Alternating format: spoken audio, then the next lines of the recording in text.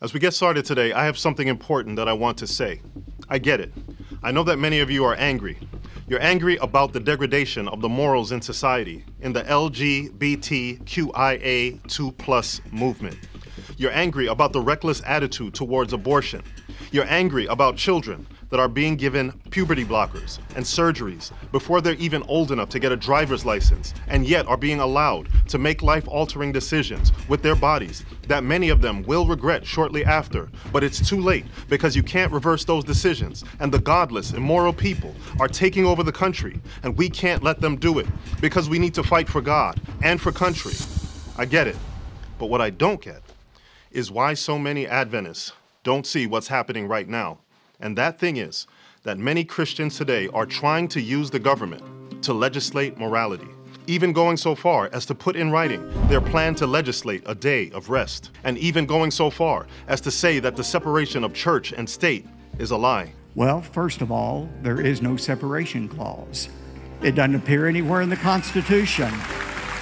There's no such thing as a separation of church and state. The church is supposed to direct the government. The government is not supposed to direct the church. And I'm tired of this separation of church and state junk that's not in the Constitution. It was in a stinking letter, and it means nothing like what they say it does.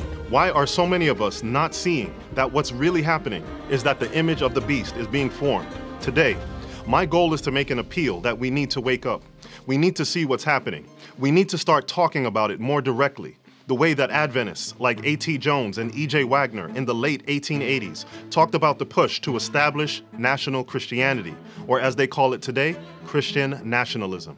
Adventists talked about it in the late 1880s in the American Sentinel. Adventists talked about it as recently as 2009 in the article from Liberty Magazine entitled The American Sentinel and the Crusade to Nationalize Christianity.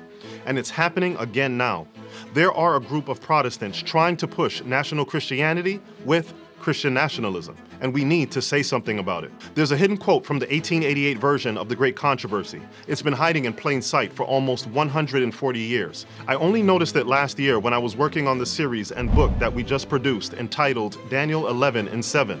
But before I get to the quote, I want to show you a few things, starting with a clip from a History Channel documentary discussing the early Christians in this country as it relates to Sunday laws. And this is going to set the stage for what we're going to talk about today. So sit back, strap in, and let's take a look together. But by the late 1500s, the Puritans in England and America's first colonies proved to be as strict as the Pharisees in observing the Sabbath. These were theocratic communities. These were communities that thought they were establishing the rule of God here on earth, and they wanted to follow what they considered to be God's law.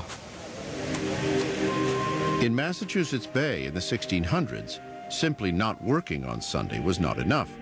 You couldn't laugh, you couldn't play. You were expected to walk reverently back and forth from church, and that was about it. Unnecessary walking, riding, playing on musical instruments, boating, swimming, and courting were all crimes punishable by fines, whipping, ear slitting, or hours in the stocks.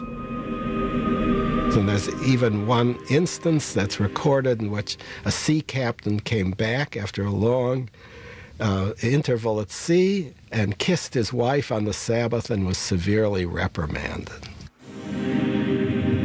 As the colonies became the United States, the Sabbath laws remained on the books. In 1789, authorities in Connecticut detained a party for riding on a Sunday. One of the travelers turned out to be George Washington on official business. Even the President of the United States was not above the laws of God. There you have it. From the very inception of this country, there was a desire to make this a so called Christian nation. But that term Christian nation can mean so many different things, depending on who's using the term. But in my humble opinion, many that use that term use it to mean this. It's a quote taken from Desire of Ages, and it says, But today in the religious world, there are multitudes who, as they believe, are working for the establishment of the kingdom of Christ as an earthly and temporal dominion. They desire to make our Lord the ruler of the kingdoms of this world, the ruler in its courts and camps, its legislative halls, its palaces and marketplaces. They expect him to rule through legal enactments enforced by human authority. Since Christ is not now here in person, they themselves will undertake to act in his stead to execute the laws of his kingdom. The establishment of such a kingdom is what the Jews desired in the days of Christ. They would have received Jesus had he been willing to establish a temporal dominion, to enforce what they regarded as the laws of God, and to make them the expositors of his will and the agents of his authority. But he said, My kingdom is not of this world. He would not accept the earthly throne. There are many that are looking for the United States to be a sort of quasi theocracy. And as I said, it's been this way from the country's beginning, with people being punished and placed in the stocks for not respecting the so called Lord's Day.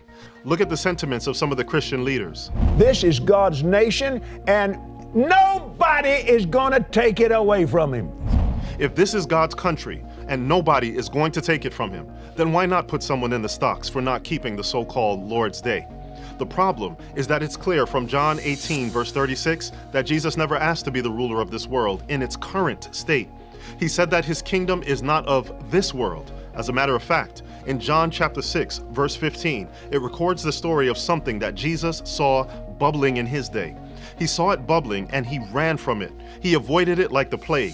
And it says that when Jesus therefore perceived that they would come and take him by force to make him a king, he departed again into a mountain himself alone.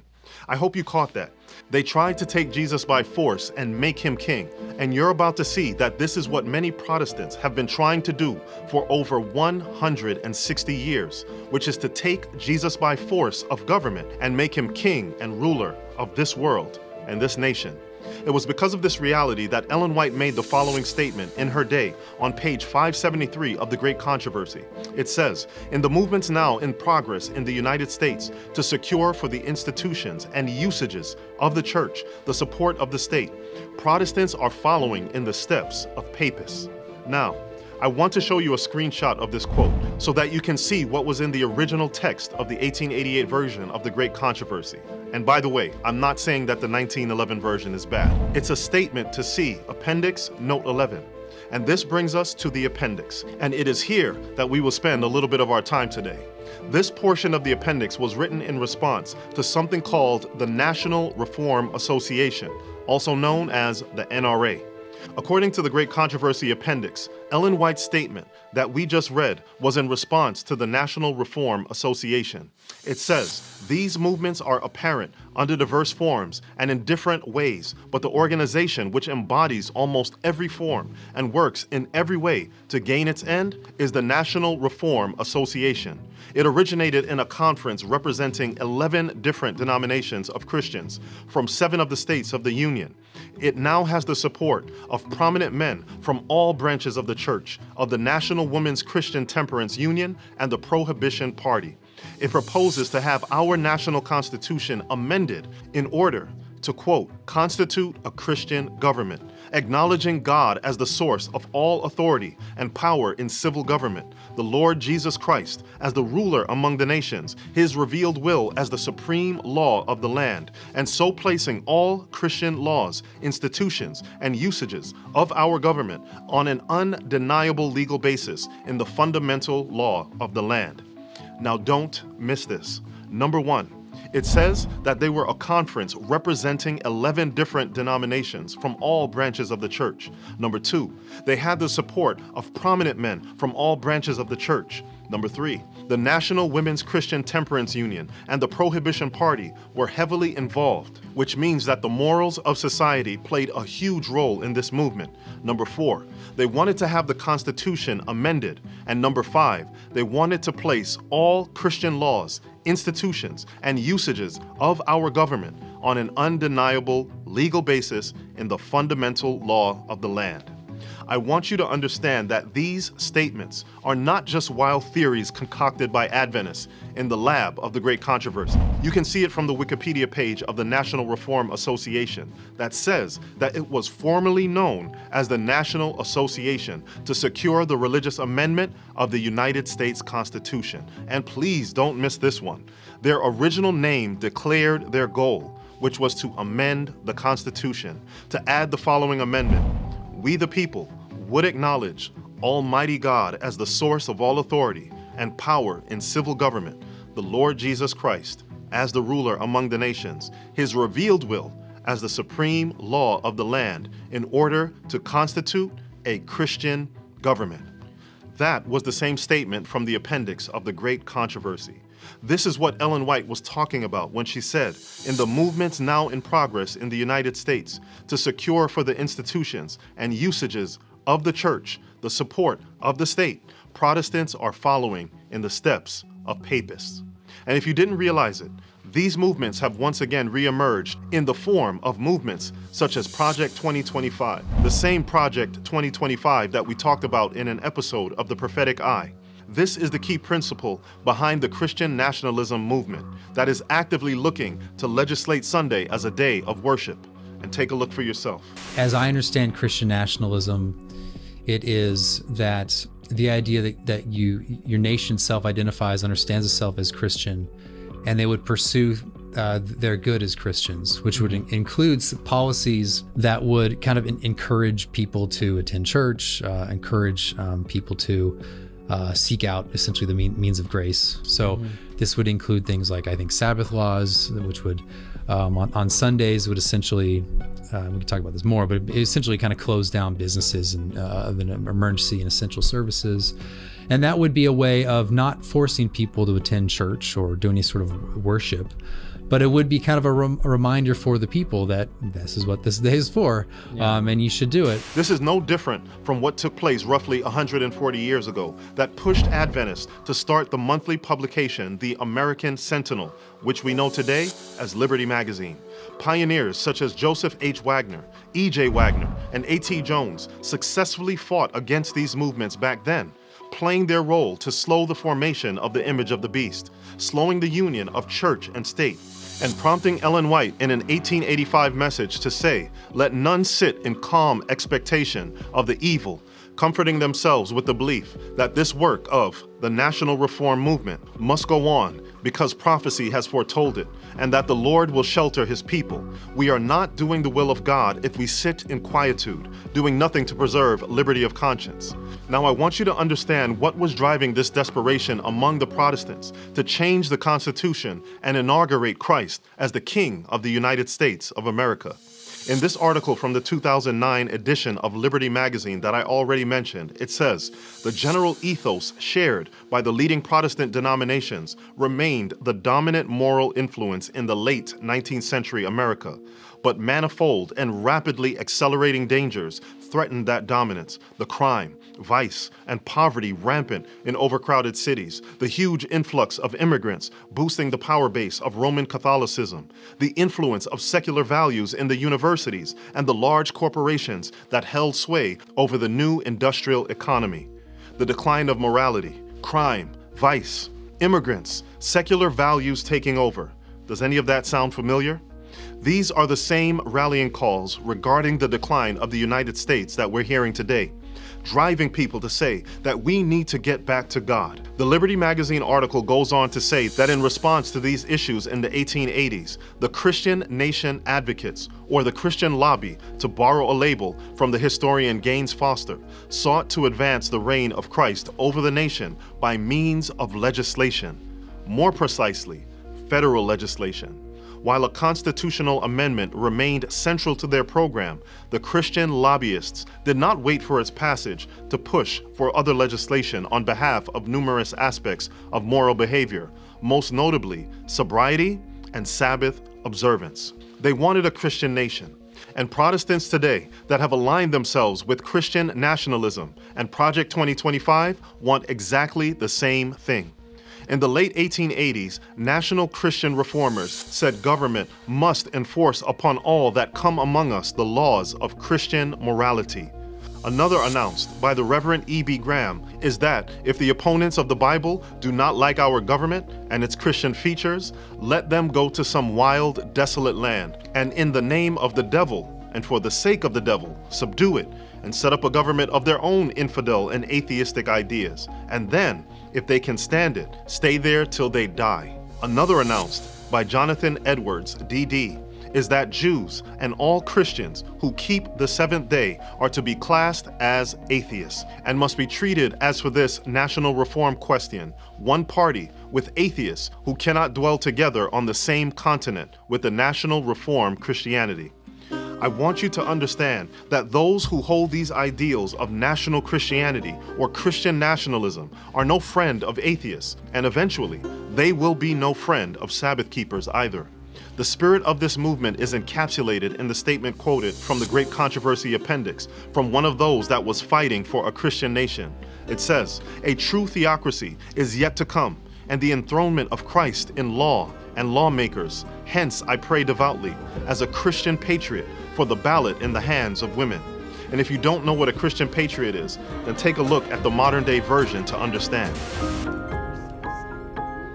It's, I think, an incredible concept to name a church Patriot Church, basically stating in the name that we love God, but we also love this country and we're going to fight for it. When I started Patriot Church, I knew I would garner a ton of criticism from the, those that don't believe in Christ and from many, many Christians. What I'm doing is so non existent and being this blatant about it, talking about things pertaining to the country. Heavenly Father, we pray for this service today. We want God in America again. And so, Lord, use us as Patriot Church, as America's church. I pray that pastors would, would wake up and start fighting the good fight. We love you and praise you. And if you love Jesus and the United States, say, Amen. Amen. This sentiment is growing rapidly in this country, and we have to pay attention to it. The statement from the Great Controversy Appendix goes on to say The kingdom of Christ must enter the realm of law through the gateway of politics. There are enough temperance men in both the Democratic and Republican parties to take possession of the government and give us national prohibition in the party of the near future, which is to be the party of God. We pray heaven to give them no rest until they shall swear an oath of allegiance to Christ in politics and march in one great army up to the polls to worship. This was the sentiment in the late 1880s. And this spirit is what paved the way for Senator Henry Blair to introduce a Sunday rest bill in 1888. And here we are again with a group of Christians that are getting increasingly powerful and that are seeking to push for the exact same thing. It's literally in the document for everyone to read themselves, and they're saying it publicly. So, what do you have to say about this? Other Christians who are not Adventists are speaking up about this. Even many atheists, although obviously they have their own separate agenda grounded in rejecting God at all costs, they are sounding the alarm about these movements. And so I ask you again, what do you have to say about this? Do you believe that this is much ado about nothing? Or are you like me that can clearly see the winds that have been held for so long are being let go? Some may say that they're being let go slowly, some may say that they're being let go quickly, but I believe that we all need to at least agree that they are indeed being let go. And so, how should we feel about the reemergence of the spirit of the National Reform Association, formerly known as the National Association to Secure the Religious Amendment of the United States Constitution, which was an organization that was trying to introduce a Christian amendment into the U.S. Constitution in order to make the United States a Christian state. Many of you are familiar with the statement that the principles of the Constitution are going to be repudiated. So, how should we feel about that? I think this statement just about sums it up. Not by the decisions of courts or councils or legislative assemblies, not by the patronage of worldly great men is the kingdom of Christ established, but the implanting of Christ's nature in humanity through the work of the Holy Spirit. Christ is primarily looking for us to reach hearts. I don't believe it's my place to tell people whether or not they should vote or who they should vote for, but I do know that we need to use our influence to hold back the emergence of the image to the beast so that we can continue to have the freedom to share the gospel. And if you've seen the value of that today, then I want to invite you to say to the YouTube algorithm that this is important and that you want this message shared with as many as possible. And you can do that by liking the video, leaving a comment on the video, and sharing the video with others so that these digital tracks can reach as many eyes and ears as possible. Because it is clear to me that just as Revelation chapter 13 states, he, meaning the Christian nationalists and Christian patriots, had power to give life unto the image of the beast. And when this image is fully formed, it will end with the removal of the separation of church and state and the removal of religious liberties. God bless.